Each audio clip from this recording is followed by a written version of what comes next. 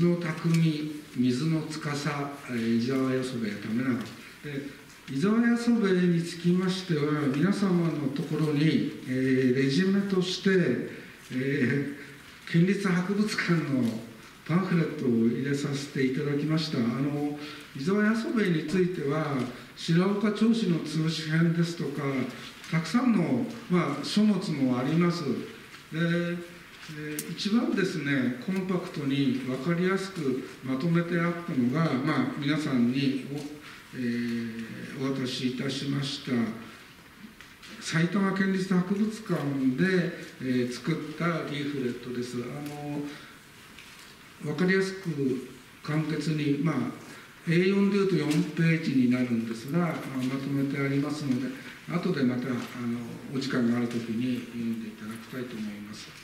えーまあ、伊沢安部っていうのは歴史上の人物ですので、まあ、白岡にとっては大変、まあ、恩恵っていいますか恩人ですので皆さんの、えー、名前等はご存知かと思います。えー、まあ見沼大用水のことだけではなくてできればこの偉人伝ということですので人物どういう人柄だったのかっていうことについても触れながら、えー、ご紹介をしていきたいと思います。えー、玉川の生涯と業績ということで、えー、バッフの認めた玉長の技術ということで、えー、伊沢安部玉長は上王3年、えー、1654年に紀州藩溝口え、現在の和歌山県海南市和歌山の生まれなんですね、え、元禄3年から、紀州藩に仕え数々の土木事業を完成させた土木工事の専門家でした、えー、享保8年、えー、安部為長はすでに60歳を超えてましたが旗本として迎えられ水の匠安兵衛の技術が幕府に認められたのですということで60になってからですね旗本として認められてまあ今で言うともう定年後の年齢ですよね。そこからあのさまざまな事業を行っていったわけですね。その前もですね若い頃からたくさん土木工事をやっていろんな、えー、用水ですとかため池の作ったりしておりますけどもまあ60歳以降旗本としてですね今度は幕府の一員として行うっていうことですのでまあ非常に、えー人格ですとかその広報がですね高く評価されたっていうことが分かるかと思います。えー、幼少期の為長はですね初等教育は寺子屋で、えー、初等教育を受けましたで基礎教養についてはここにあります野上八幡宮ですとかあの近くのお寺の住職さんから、えー、基礎教養は学びましたで監視あるいは数理非常に長けた少年だったんですねですから、まあ、近くに黒沢山っていうのがあるんですが天狗に学問を教わったんではないかというぐらい監視とか数理、まあ、今で数学に長けた人だったわけですね。で専門書を読破し、えー、農業読とか数学の図書をもう読んでまくで逸話としてですね父親と道路を歩いてる時に父親がですねここは洪水が多くて困るんだよねっていうようなことをためながに言ったところですね親に対して水路が曲がってるので洪水になるんだからまっすぐに流れを変えれば起こらない洪水にはならないっていうのを話したという逸話があります。これは伝説なのでおそらく後から作ったんだと思うそれからですね推理治水を達人から学ぶということですいません。班長からですねこれだけ離れてるのでマスクはしないっていいということを聞いたんですが今思い出しましたので、マスク外します、えー、これはですね庄屋の地方公社大畑才蔵この人物は安部よりも20歳以上年上なんですね。でここにある地方公社って優れた土木技術者なんです。この方にいろんなことを学んでるんです。聞いてるんです。で大畑才蔵っていうのはどんなことを安部に伝えたかっていうと川のことは土地の人に聞け。現場に足を運べ。測量は部下に任せてはいけない。百姓を愛さなければならない。この言葉を安部は自分が担当となって工事をする時に常に心がけてたんですね。だから大畑才蔵っていう人物がある意味、えー、為永のこういう、えー、人格って言いますかね、えー、考え方を作った人物っていうふうなことが言えると思います。でもともとはですね旗本になるんですが農家なんです。江戸時代っていうのは死の交渉って身分制度がはっきりしている時代なんですが、えー、まあ農家っつっても豪農ですけども藩士に取り立てられる、えー、元禄3年28歳の時に、えー、挙げられるんです。これはです皆さんのレジュメのところにも書いてありますので後でまた読んでください、えー、徳川二代藩主の徳川光忠という方に、えーまあ、登用されるわけですね。ですからまあ、豪農庄屋さんが藩士になる。で紀州藩はもともと庄屋による自治が認められていてお風呂焼きの伝達とか開墾とか年貢の取り立て救済っていうのは庄屋が行ってた、まあ、そういう自治があったということで、まあ、和歌山城に出資藩主として出るようになったでこれは伊沢家にとっては一族の誉れですよね。えー豪農から藩士になるわけですのでそれで、えー、野上八幡宮、まあ、近くのお宮に蝶々鉢を寄進をしております。でこの時に名前もですねえー、今安部為長っていうふうなことなんですがその前は、えー、宇左衛門の将氏勝っていう名前だったんですね。で藩士として使えるのには、えー、変えた方がいいっていうことで、えー今の、まあ、我々が使っ読んでる安部為長に変えてます、えー、職名は、えー、不審不代ということで、えー、登用されていきます。でではなぜ豪農が藩士になれたかというと藩が財政難で、まあ、在野からも土木農業土木の優れたものを登用して藩の財政を持ち直すとかそういうことが必要だったわけですね。それで在野からも優れた人物を登用するようになった。また家計もですね伊沢家の家計っていうのは清和源氏の流れを組んで根殺者の家筋一筋なんですね。で根殺者っていうのは真偽真言宗の総本山の根殺し。これ一大宗教兵装軍事集団なんですね。あの兵装僧侶なんですが、えー、軍隊のような僧侶なんですね。あの勢力を持っていた。そこの六将、まあ、の中の一人に伊沢家が入ってたんでまあ非常に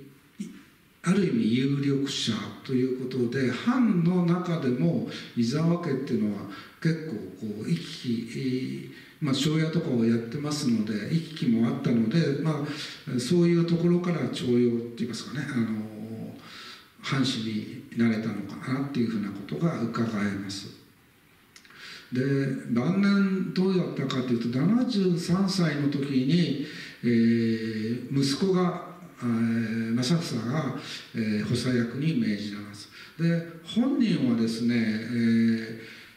元文2年、えー、75歳の時に病のために美濃軍隊を解任されます。まあ戻ってるんですね。いろいろ、えー、関東で美濃窓用水とかいろんな事業を手がけた後その後美濃軍隊に戻って地元でやってます。で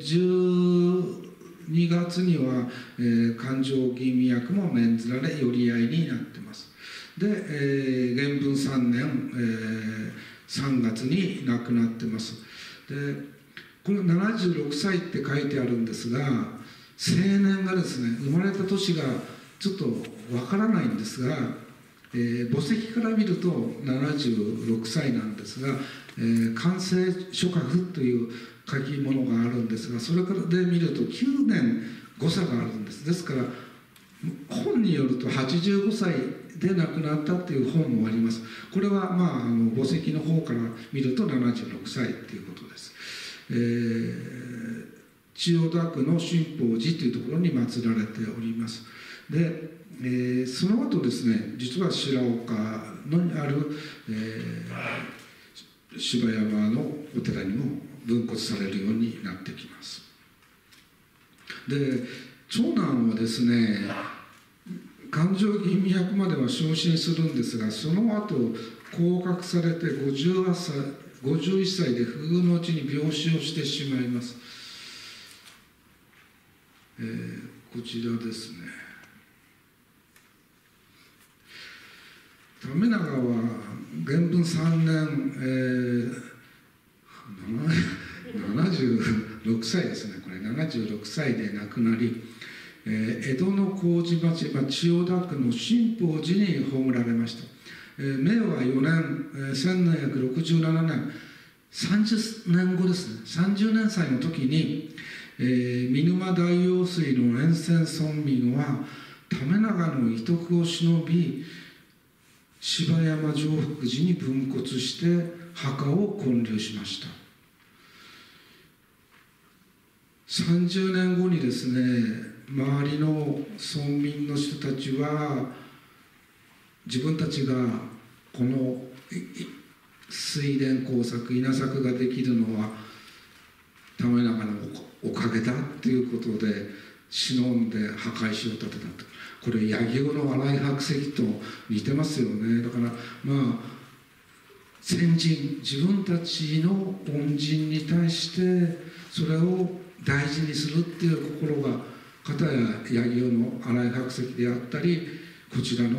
伊沢安部為永の墓にもこんな、えー、人々の気持ちが分かるかと思います。でそれはですねまた後でも出てくるんですが実はこう常福寺ありますが常福寺があったのは元原川を世界してるんですけども元原川のところ今の元原川のところなので常福寺なくなっちゃうんです。その時に安部がいろいろ尽力をして土地を近くに土地を分けてでその造営のためのお金も幕府から出してもらう。いろんな、えー、上福寺に対して工作っていうんですかね。苦労をしているんですね。ですから地元の人たちはそれが分かってるから玉永を強く慕ってるわけなんです。で安部とそれから今までの稲流関東流に対して紀州流まあ大きな違いがあるわけですね、えー、伊沢安部が来て神殿開発が今日5年間以降えー、広く行われるようになったんですがそれは、えー、一つはですね溶排水路をきちっと分けたってことですよね。えー、稲荷湯の場合はえ越流方式っていうことでため池方式ですので水をためてそれを下流の水源としておりましたのでその、えー、水源地がどうしても必要だったので開発がきちっといかないあるいは、えー、水があふれるっていうことがありました。ですから、えー、紀州流の場合は、えー、イザヤソベのやり方は自然を制御して強固な築堤をして今までの流作場ためにも神殿に変えるというふうなことで大きく、えー、教保時代に流れが変わってきてます。それでは、えー、見るがちょっと見ていきますか、えー、ここのためですではね、まあ、大きなためがありました。これを干拓するんですがこれはもともとため池というくらいでしたから田んぼの水を確保するために必要なものだったわけですよね。でまあこういうふうなため池が県内には他にもたくさんありました。でまずどういうことをやったかというと先ほどお話ししたように沼ですので、えー、水が入らないようにした後排水を作んないと開拓できませんのでえー、芝川、えー、荒川にこの見沼の水を流しました、えー、これをまず行います。そうすることによってあの一面の低い、えー、犬町が現れてきます。今度はですね沼地に田んぼにした時に用水を引くことが求められますよね。必要な水を。でまあここからですねここを取ったんですがこれ距離ありますよね。84.5キロ。地図上で高低差とか考えないで見ると例えばですね荒川からこういうふうに引くとか利根川からこういうふうにあるいは江戸川からこう引くことも、まあ、高低差とか、えー、考えなければできると思うんですがこれが大正解なんですこれこしかないんですね。なぜかというと一つはご不審は短期間で完成させないといけない。で水路を掘る際には常年常畑を潰さない。今まで使ってる田んぼとか畑を潰して堀を掘らない。で見沼の干拓と同時にですね先ほど東部地域にたくさんの沼地が残ったって言いますそこも一緒に開拓する。で堅固な水路も作んななくてはならない。あるいは将来の水運も考える。そうするとですねこの辺に沼地がたくさん残ってたわけですからこの辺にこう水を流す。あるいは収音のためにはここのだけだと収音には荒川だと短すぎてあまり意味がないですよね。そうするとやはりこの地形が一番よろしい。ただ84 84.5なんですがいや星川を使ってるんですね。自然河川。星川を使ってますので実際はこんなに掘ってないですね。でどんなことを田村がやったかというとこれは先ほどの才蔵の意見ですよね。自分の足で各地を歩いて自分の目で確かめて現地の人々から土地や水の様子を聞く。それから使われなかった古い水路を修復させ最大限に利用した。それから工区を細かく分けて村々に割り振った。それから掛け問いとか伏せ腰とか重要な部分は江戸の大工に作らせて船で運ばれた。江戸の職人がやってるんです。で現地で組み立ててるんです。伏せ腰だけではなくて掛け問いとかも、まあ、芝山と河原は有名ですがその他にもたくさんあるんですが木材とか釘とか大工とか左官とかみんな江戸から連れてくるんです。材料も江戸で用意してる。それで作ってるんです。だから短期間でできてるんです。で現地調査で知り合った人々と深い信頼関係を持てたと築けたということですね。でなぜ秋から冬までに完成しなければならなかったか。まあ長期間にわたってしまうと下流が田植えできなくなってしまうので 飢えてしまうもしこの事業が失敗したらまあ一大一揆になってしまう。大御所様の失敗は徳川幕府の失敗になってしまうあるいは4月にこの時日光社参があったんですね。で同じ道を通るので田植えを見てもらいたい、まあ、こういういろんな要素が重なって、えーまあ、半年で作り上げました、えー、これができた理由ですね、まあ、先ほどのと同じですけども地形地質川の流れ洪水の後をよく調べる、えー、地元の住民によく質問する野鳥にこまめに記す、えー、水盛りも現地に立ち会う。で帳簿も区切って同時にする。で手抜き工事はやり直し妊婦賃も支払わない。部下の処分も行ったということで。総工費が2万両1両は約10万とすると2億円ですのでね、えー、1175兆部の神殿ができましたと。な幕府財政に大きく貢献いたしました。で利根川の元入りと川口の荒川落合まあ両方からこう2人に分けて工事を始めたんですが誤差は2 6センチしか誤差がなかったということです。でこれはですね先ほど言いましたように東部のさまざまな沼地の開発にもなりますので白岡ですと早通り川、えー、黒沼大用水笠原沼大用水これもですね美濃窓用水のおかげなんですね。美濃間から水を引いてこういう周辺の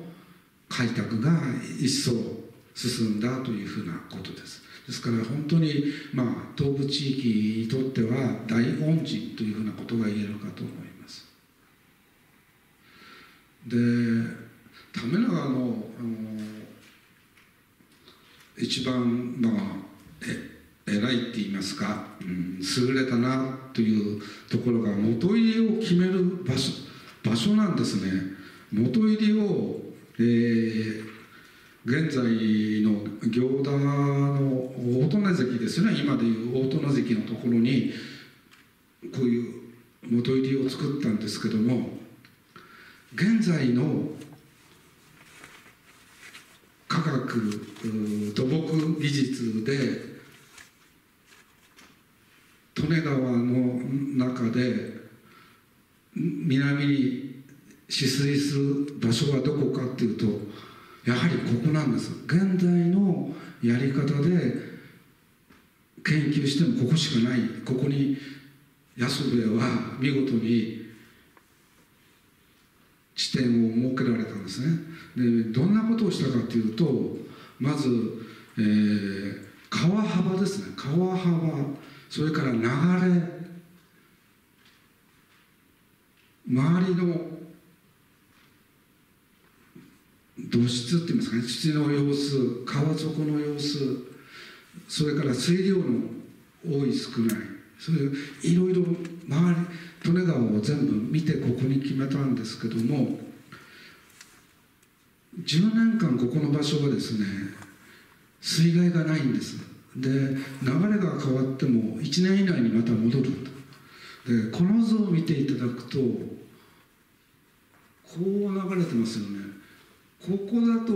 流れが強すぎますけどもこう流れてるので水が自然と取水口に行くような場所なんです。で周りの土砂っていうんですか？土質が強固なんです、まあ、一番のポイントをですね当ててます。ここここしかないっていうところです。ですから現在も大利根関ここから水を引いてます。で白岡付近がですね一番の実は難所なんですね、えー、利根川から星川を使って勝負の元の将軍町の役場のところアミーゴってありますね役場の真ん前。にあそこに16軒関と8軒関があります。でそこで星川と見沼大用水が分かれるわけですね。そこのところの工事それから芝山の伏せ越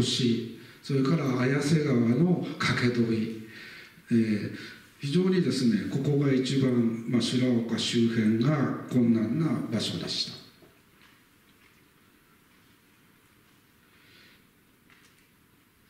えー、延長がですね84.5キロ、えー、掘ったのがですね53.2キロですね、えー、面積で24万坪延べ90万人。当時の江戸の人口と同じだっていうんですね、えー、経費が1万5000両。でまあ水路を掘ることによって65兆部を失うんですが新たに1175兆部生まれたということで毎年5000石の年貢米が、えー、取れるようになったというふうなことです。えー、芝山の布施越南高地なんですけども、えー、元荒川が、まあ、芝山沼と平野平野村付近でこう曲がってるんですね。であるいは、えー、雨季暴風の時の流れっていうふうなことでここの場所が、えー、元荒川と交差する場所が最も、まあ、苦心したところで地元の人に、えー、話を聞いた。水のこと川のことは地元の農民がよく知って、まあ、洪水が起こる様子ですとか川の流れっていうのは一番知ってますのでそれを聞いてこの場所で元原川を、まあ、伏せ骨として来させたっていうことです。でここの話ですね。為永は住職に話をして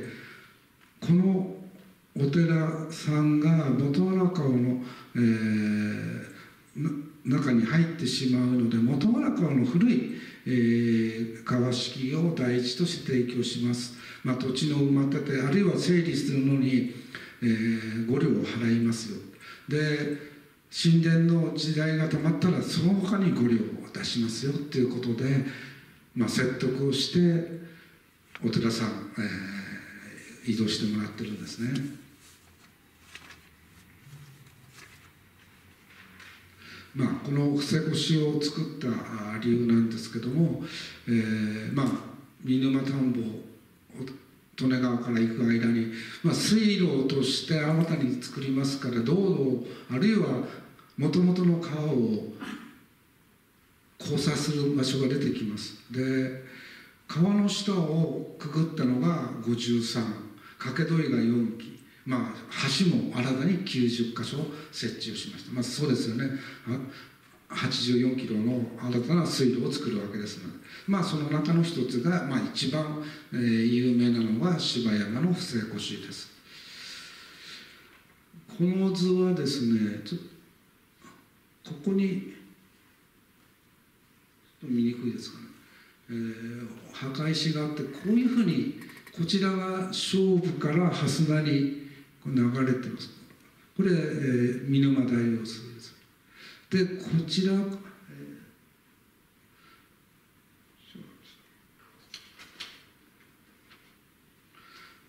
こちらからこうですね。こう元原川が流れてます。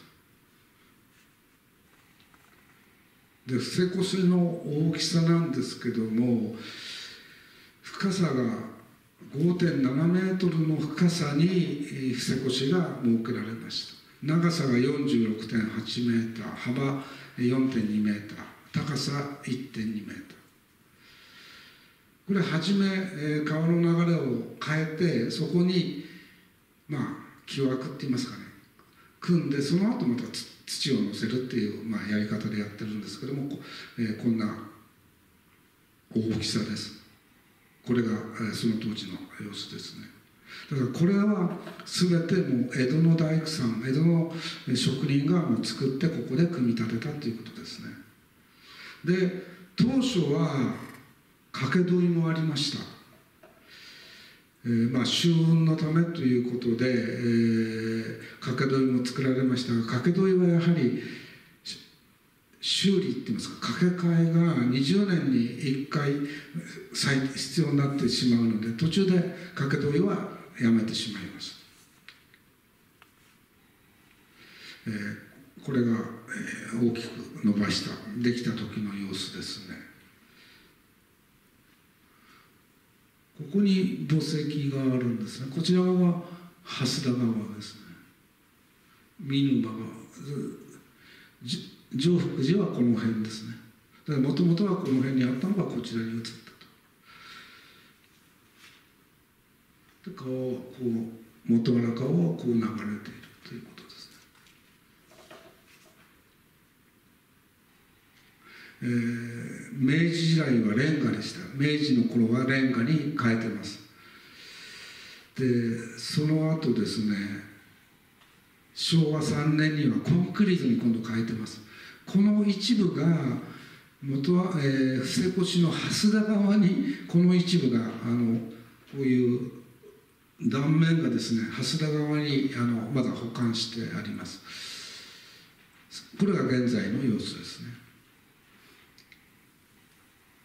元原川が見沼沿い用水ですね。こんな様子ですね。え最後にまとめに変えてということで「為長の人と言葉」ということでご紹介をいたします。水の司為長、ね、武蔵野の緑豊かな田園風景に礎は江戸時代の神殿開発にあります。安部の考案した土木技術は紀州流と呼ばれ幕府の正式工法となり明治時代になって近代土木技術が起こるまで長く用いられました、えー、美濃大用水の開発はその後の日本の発展に大きな影響を与えたのですということでこの言葉が、えー、ため長を表している言葉ということで紹介をいたします。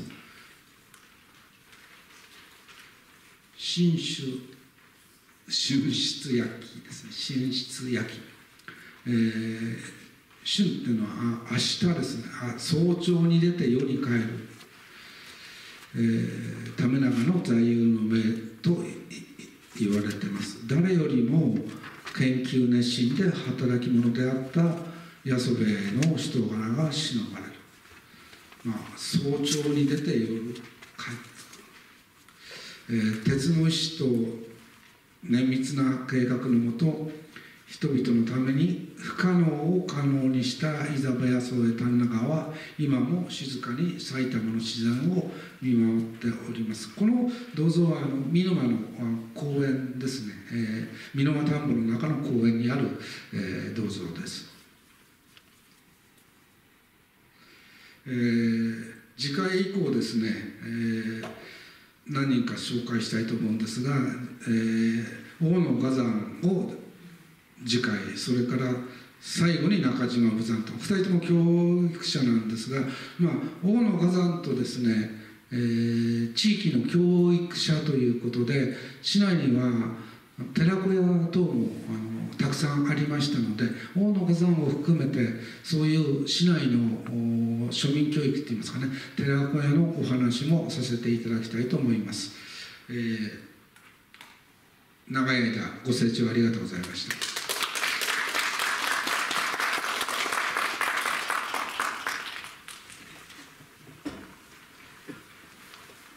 どうも板垣先生ありがとうございました。皆さんもありがとうございました、えー冒頭にもあのお話しさせていただきましたけどあの私どものコミュニティ大学も、えー、板垣様には初回からずっとやっていただいておりましてまたあの今のお言葉の中にも、えー、また次ということをですねおっしゃっていただいたのでぜひまたあの期待をさせていただきまして、えー、新年度になってからまたお願いをさせていただきたいと思っておりますのでまたその時はよろしくお願いいたします。あと皆様にあのお手元にお配りしました資料の中にアンケートもあると思いますのでぜひそのアンケートをご記入いただきまして、えーえ、扉出たところですね机が用意してありますのでそちらの方にご提出をお願いしたいと思います。それでは本日はどうもありがとうございました。皆様ありがとうございました。先生ありがとうございまし